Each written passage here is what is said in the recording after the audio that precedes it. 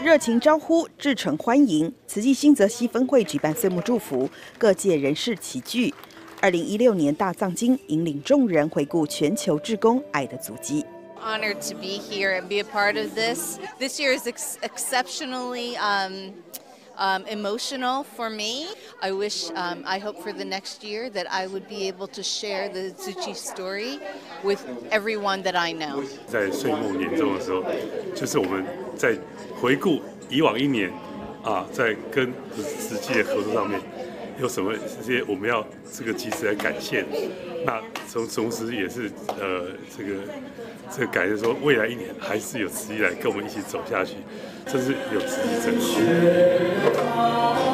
庄严的钟鼓齐鸣，还有志工的八正道演绎佛典，透过手语入心，也时刻提醒众人要精进不懈怠。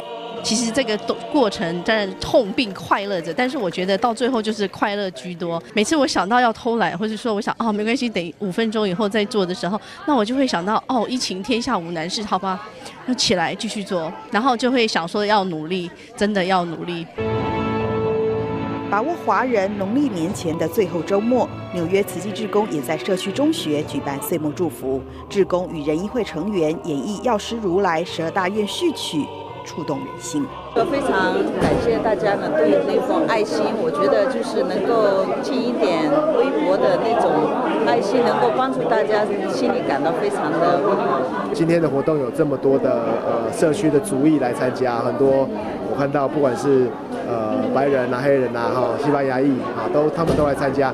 那他们呃，表示说我们这种大爱的精神是是让他们感动的，所以呃呃，是社区大众都非常认同，所以愿意来参加此祭。场内众人虔诚祈祷，共聚善念；来到场外，民众则把祝福化作行动，将点滴汇聚的善款倒入大瓮，救助苦难，祈求天下无灾。大爱新闻美国综合报道。